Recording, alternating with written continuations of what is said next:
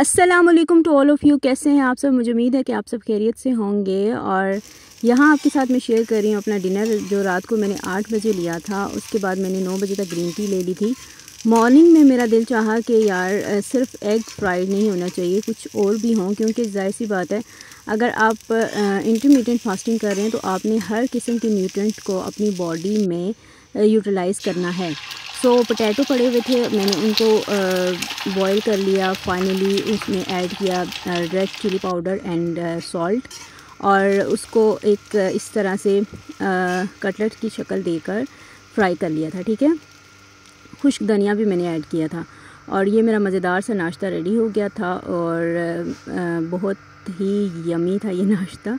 उसके बाद आज मैं आपके साथ शेयर कर रही हूँ आयज़ा खान की मेकअप लुक वालेकुम कैसे हैं आप सब? आज आपके साथ मैं शेयर करूँगी आयज़ा खान का इंस्पायर मेकअप लुक लेकिन उससे पहले मैं एक आपको बात बता दूँ कि अगर आप चाहते हैं आपकी बेस आपकी स्किन पे अच्छे से अप्लाई हो जाए तो अपनी स्किन को हमेशा एक्सफोलिएट कर लिया करें। जैसे कि मैंने रात को एक्सफोलिएट किया था, इसको राइस फ्लोर के टू टेबल स्पून लिए थे वन टेबल स्पून आप ले लें एलोवेरा जेल और वन विटामिन ई कैप्सूल इन सारी चीज़ों मिक्स करके हल्के हल्के हाथों से अपने फेस की स्क्रबिंग करें।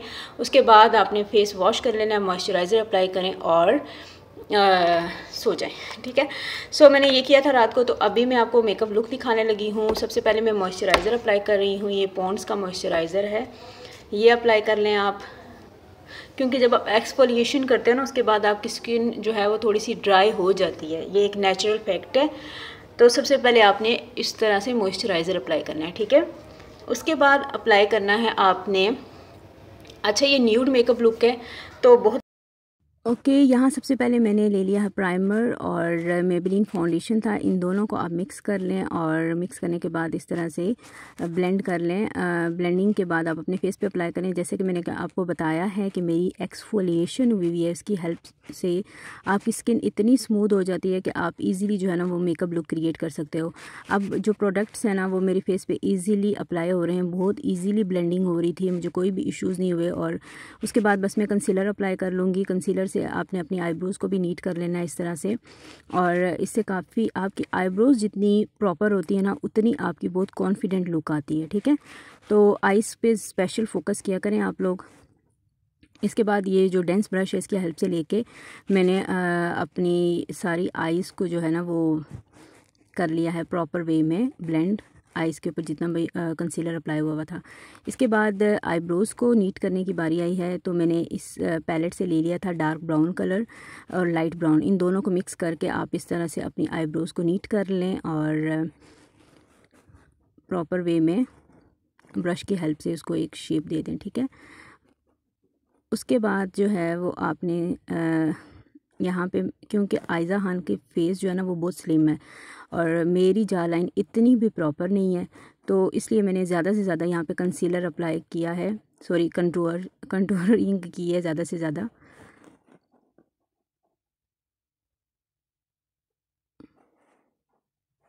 ये ब्रश की हेल्प से मैं इसको ब्लेंड कर रही थी और कोशिश ये कर रही थी कि यार मेरी जा लाइन भी प्रॉपर और सही से क्लियर हो जाए।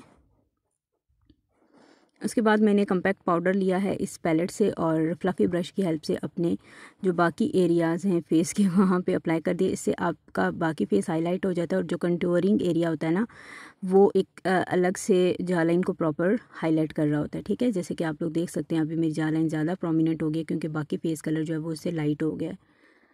मुझे उम्मीद है कि आप लोग समझ रहे होंगे मैं आपको क्या बता रही हूँ। इसके बाद मैंने लाइट ब्राउन कलर लिया था और उससे अपने अपर आईलिड का एरिया पूरा कवर कर लिया है और फिर मैंने अपने आईब्रोज़ की जो कॉर्नर्स होते हैं ना, उनको हाईलाइट करना है। तो एक ब्रश लेके आपने अपने आईब्रोज़ के कॉर्नर को हाईलाइट कर लेना है। यहाँ तो मैं बता रही हूँ कि अपने इनर आई का जो कॉर्नर होता है, वहाँ पे भी लाइट ब्राउन कलर लेके इस तरह से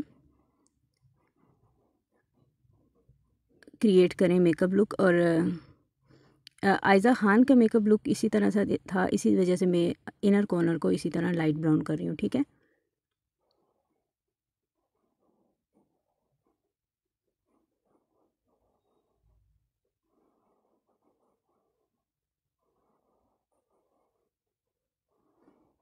ये अब मैं ग्लिटर की हेल्प से अपनी आईब्रोज़ के कॉर्नर्स को हाईलाइट करने लगी हूँ।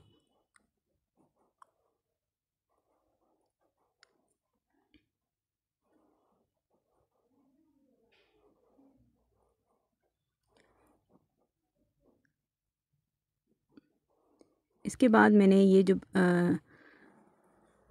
एप्लीकेटर है इसकी हेल्प से मैंने अप्लाई किया है। Light peach and dark peach आपको कलर क्लियर हो रहा होगा। लाइट पीच और डार्क पीच जो ग्लिटरी सा शेड होता है वो लेके आपने अपने अपर आईलिड को अच्छे से जो है वो आ, कवर कर लेना है।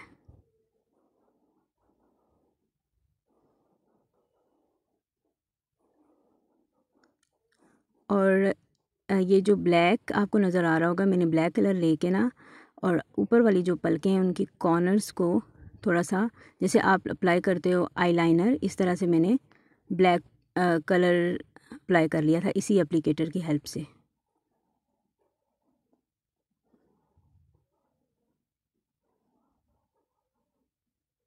ये दो कलर्स मैं आपको दिखा रही हूँ कि जो मैंने मिक्सअप किए हैं, peach and light peach, okay?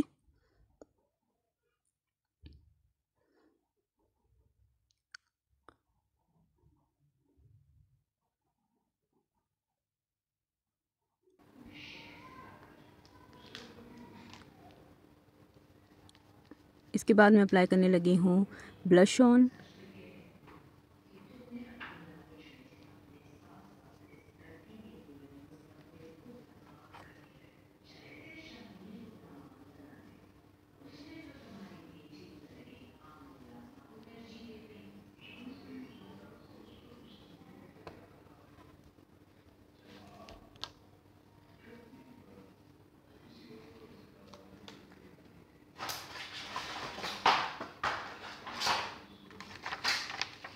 और फाइनल जो है वो लिपस्टिक की बारी आ जाती है। अब आप लोग देखेंगे कि आयज़ा की बिल्कुल न्यूड सी लिपस्टिक थी। तो मैंने भी ये न्यूड सा कलर सेलेक्ट किया है लेकिन ये आई थिंक सो ग्लिटरी है ना uh, या आप कह सकते हैं ये ग्लॉसी सा है। तो इसमें ना थोड़ी सी ऐसी अपीयरेंस आ रही थी। सो so, साथ मैंने थोड़ा सा ये जो ऑरेंज शेड था इसको भी मिक्स कर लिया।